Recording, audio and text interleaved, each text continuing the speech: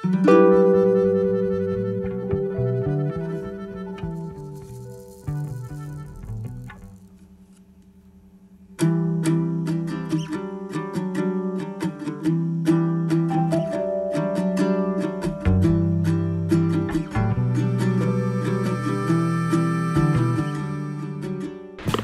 Neața Bine ați venit pe canalul Jurnal de Călătorie.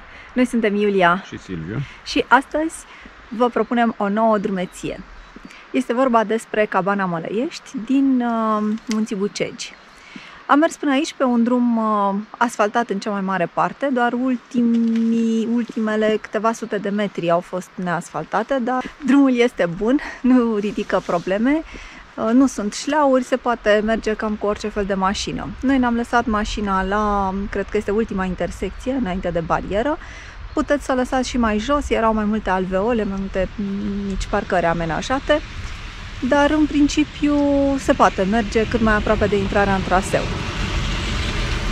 Cam asta despre drum și uh, începutul traseului. Estimăm să facem undeva pe la 3 ore până la Cabana Maleiești. O să vedem însă pe parcurs dacă durează mai mult sau mai puțin. Hai să mergem!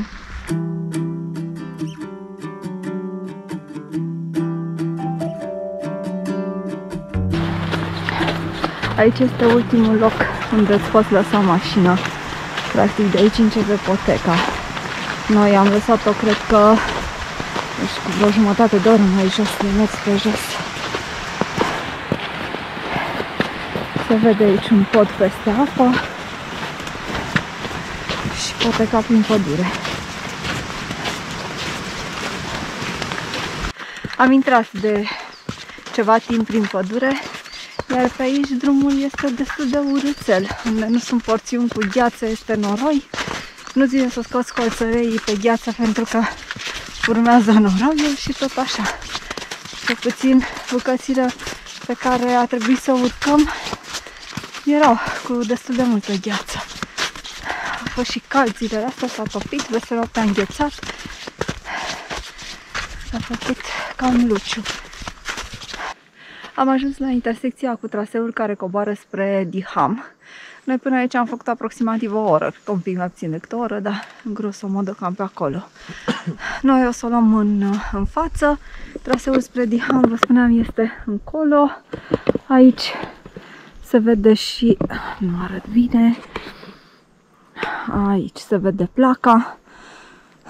Conform uh, marcajului, am mai avea două ore până la Mălăiești, ceea ce ar fi un grafic jos de unde am plecat noi, a arătat 3 ore până aici, am făcut o oră, deci cam pe acolo. Pe aici uh, traseul este cam cu noroi, văd că acum e un pic mai uscat, mai jos era destul de mult noroi, n-am mai dat de porțiuni de gheață și nici de zăpadă. Uh, mai multă gheață era jos, un pic mai jos. Deocamdată urcăm. Am găsit și niște ghiocei, deși nu e încă martie, este sfârșit de februarie, dar uite aici.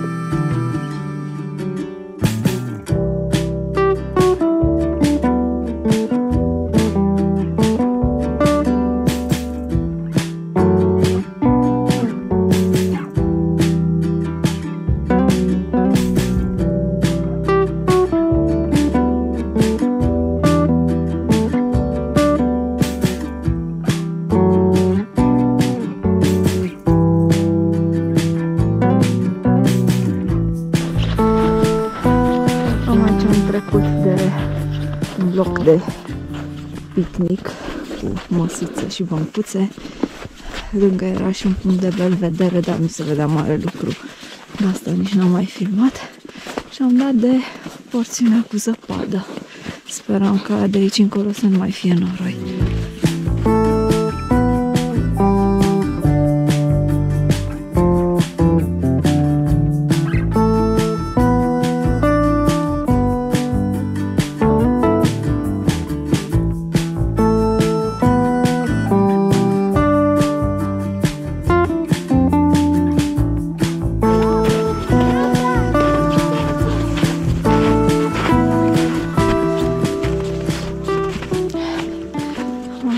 Cabana Mălăiești la 3 ore de la începutul traseului. Ultima porțiune a fost destul de alunecoasă. Mulți oameni care coboară prin alunecare și se face gheață.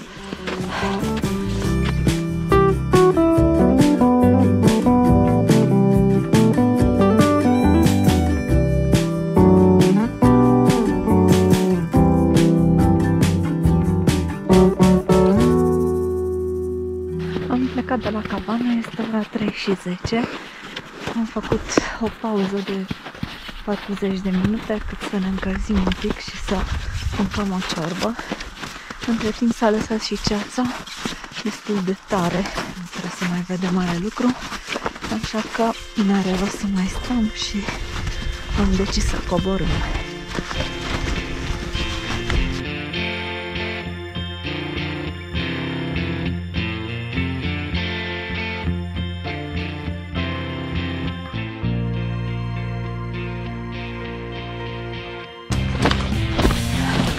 Vă las la voi niște colțărei pentru că sunt câteva pante destul de abrupte și vedeam diferența când am urcat.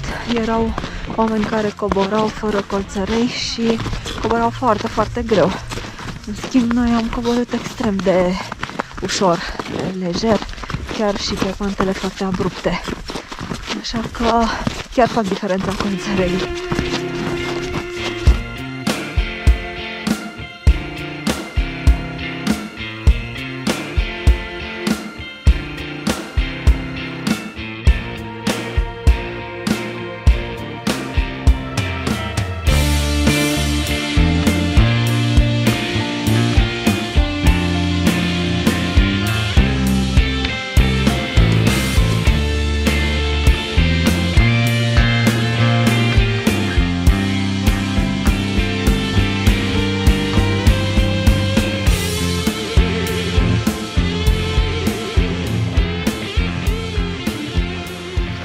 colțărei. finalul traseului de astăzi.